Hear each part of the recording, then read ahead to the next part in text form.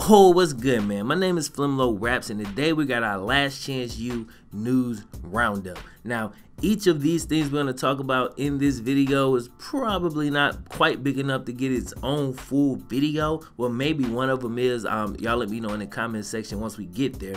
But I still wanted to kind of make a video and talk about it. The first thing is Last Chance U Season 3 will be held at Independence Community College. Now, I made a video about this, I believe, last week. But at that point, it had not been officially confirmed. But there was a ton of implication that it would. Now it has been officially confirmed that leaving EMCC is going to be at Independence Community College next year. Personally, I think this is a good thing. Uh, EMCC you know, it, it could kind of get a little bit stale after a while for the viewers at least. And uh, we see Buddy was kind of fed up with it. And so cool, you know, go ahead, do your thing, and we'll kind of go and check out another program. There will be stories there, the same as there was with EMCC. Maybe not as heavily focused on the coach, it just depends on his personality, but they'll still spend a good portion of the season just comparing him to Buddy Stephens because he's the only Last Chance U coach we've ever known. So, you know, that's what that is.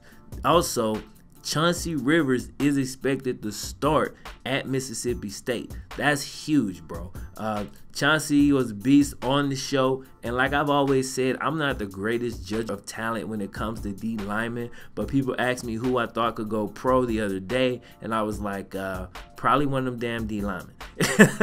you know what I'm saying? Because they definitely look like beasts. And of the bunch, Chauncey definitely seems to be the most talented and also the most versatile. Now, Mississippi State's new defense is going to operate out of a 3-4, but they're going to show different looks at times, which is uh, where they want to use Chauncey's versatility. At around 280 pounds, he'll be able to line up at defensive end in the 3-4, and they can also use him as an interior lineman in a 4-3.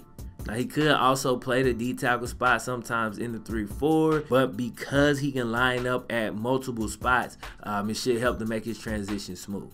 So we go from that to the last bit of news, and that's another SEC school.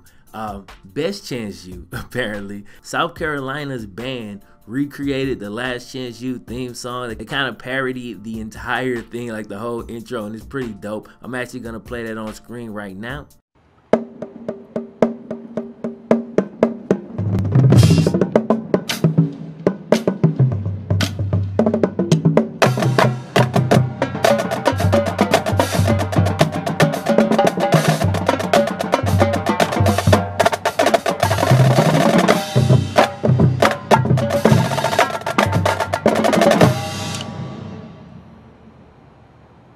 That's gonna about do it, man. I hope y'all enjoyed this. Hit me up in the comment section and let me know if we should do a Chauncey Rivers spotlight video.